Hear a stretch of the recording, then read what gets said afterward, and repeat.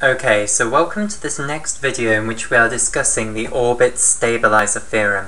Okay, so in the previous video we discussed orbits. Now what we're going to do is discuss stabilizers, do a bit of an introduction to stabilizers, and then we'll put the two together to arrive at the orbit stabilizer theorem, which talks about a correspondence between the elements of an orbit and the left cosets of a stabilizer.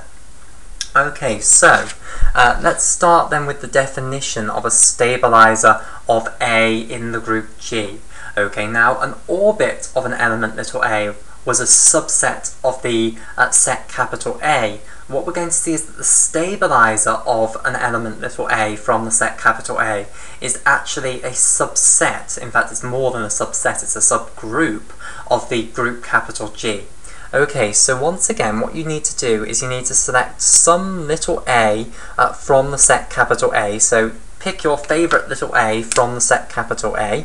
And what we're now going to construct is what's called the stabilizer of A in the group capital G. And it's written like so. You write capital G for your group and then you put subscript little a. Okay, and this is read as the stabilizer, okay, of the element little a, so I'll just put stabilizer of little a, in the group capital G. So we'd read that the stabilizer of A in G. Again, I will highlight this up in turquoise.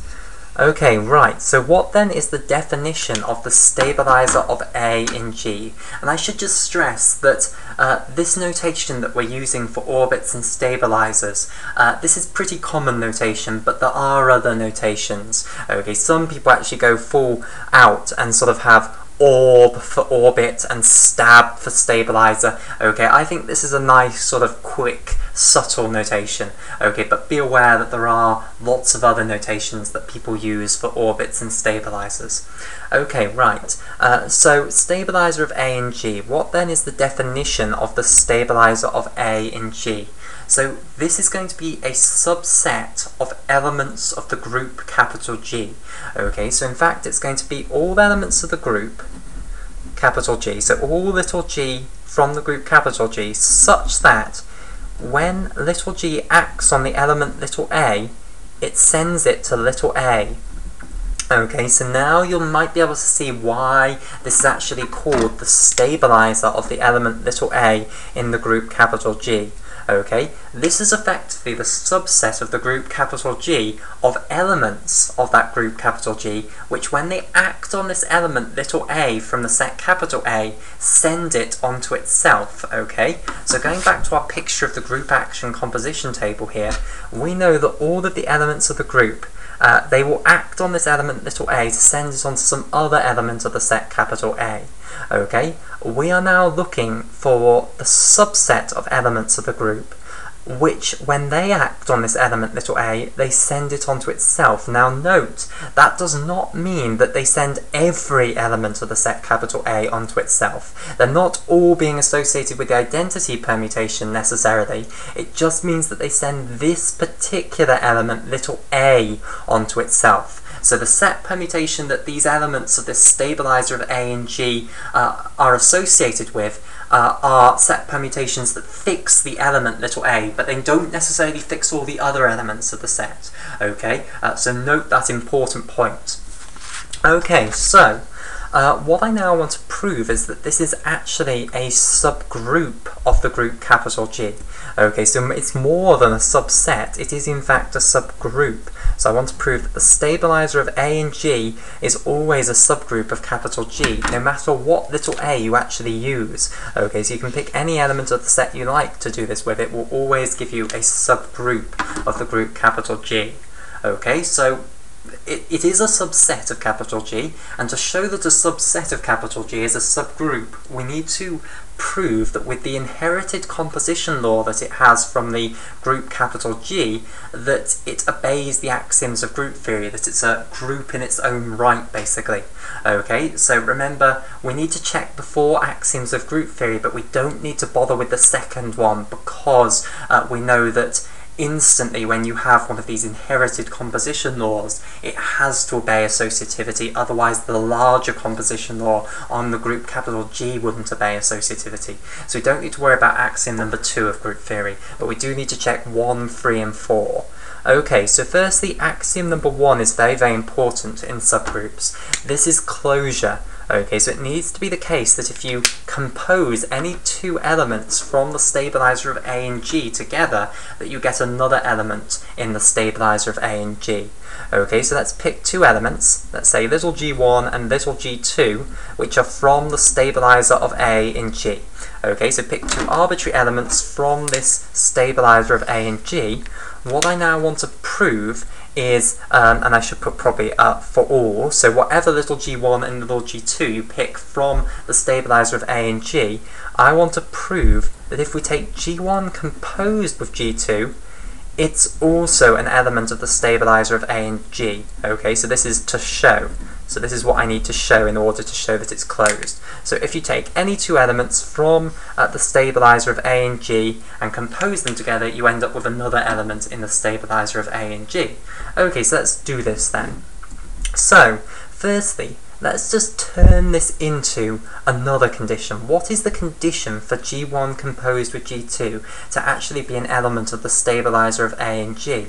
Well, the condition is that G1 composed with G2 dot A must equal little a. Okay, so saying this, saying that G1 composed with G2 is an element of the stabilizer of A and G is utterly equivalent to saying that G1 composed with G2 dot A must equal little a back again. Okay, that and that are synonymous. Okay, uh, uh having this obeyed is exactly the definition that you need to satisfy in order to be in this. Okay, so if we want to show this, we need to show this. Okay, so let's now try and show this then. How are we going to show this? Well, we're going to use this first axiom of group actions. We're going to split this G1 composed with G2 dot A down into G1 dot G2 dot A okay? And we now want to show that this is equal to A. Okay, so I should stress that this was to show, we didn't know that this was true.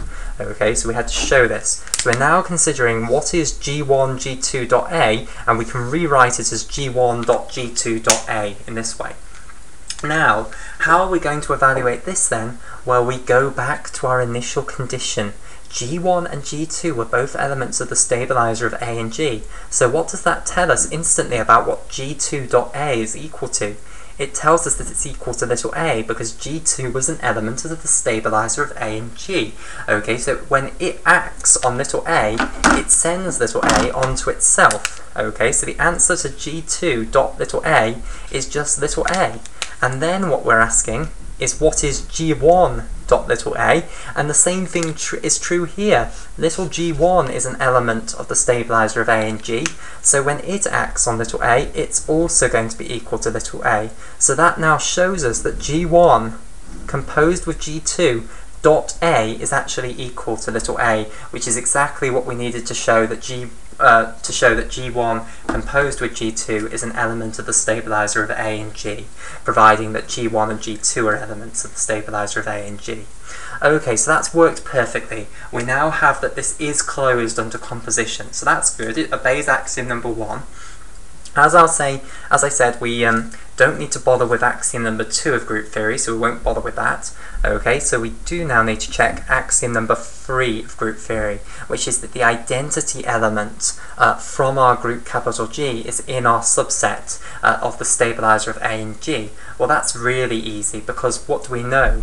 Well, we know by axiom number two of group actions that the identity element dot A is equal to little a no matter what little a you pick from the set capital A. So it doesn't actually matter what little a you were using there. Uh, the identity fixes absolutely all of them. It is truly associated with the identity permutation of the set capital A. Okay, so it will certainly fix your favourite little a that you picked up here. Okay, so the identity is always an element of the stabilizer of A and G, no matter what little a you are working with. Okay, so that's good. So axiom number three is obeyed there, and that will be our group, uh, our identity element of our subgroup. And now axiom number four. Okay, and this one's a little bit more tricky, but still very, very easy. Okay, so axiom number four, we need to check that if you have an element of the stabilizer of A and G, so if we take a little g which is in the stabilizer of A and G, what we want to show, and again I'll put to show, we want to show that the inverse element, which we'll know, we know will be in the group capital G, so we know the inverse element is an element of the group capital G. What we don't know is that it's an element of the stabilizer of A and G. We want to show that G inverse is also going to be an element of the stabilizer of A and G, and that will mean that all of the elements of the stabilizer of A and G will actually have inverses. Okay, right. So, again, we will just change this um, into what it actually means. This means that we need to show that G inverse dot A is equal to A. So this is what we need to show to show that G inverse is an element of the stabilizer of A and G. So how are we going to do that? Well, what do we have? We know that G is an element of the stabilizer of A and G, which means that G dot this element, little a, is equal to little a. Okay, so this is the great idea. What we can do is we can substitute in for little a here, g dot a, because little a is equal to g dot a. Read this equation the other way round. Little a is equal to g dot little a for that particular little a that you picked right at the start to consider the stabilizer of. Okay, uh, so what I can now do is stick this into here and then I get that g inverse dot A is equal to g inverse dot g dot A. I'm perfectly at liberty to do that. That works perfectly fine. Okay, but now what can I do? Well, this is of course why this is an ingenious thing to do, a clever trick. Okay, uh, what I can now do is I can use the first action, sorry, the first axiom of group actions to rewrite this as G inverse composed with G, okay, dot A. Okay, but now, and now I know exactly what G inverse composed with G is equal to. That will equal the identity element of my group. So this is just equal to the identity dot A, and the identity dot A will absolutely be A, no matter what little a we're talking about. Okay, so it will certainly be true for this uh, fixed little a that we picked at the start. So that now proves that G inverse dot A will equal little a if G is an element of the stabilizer of A and G.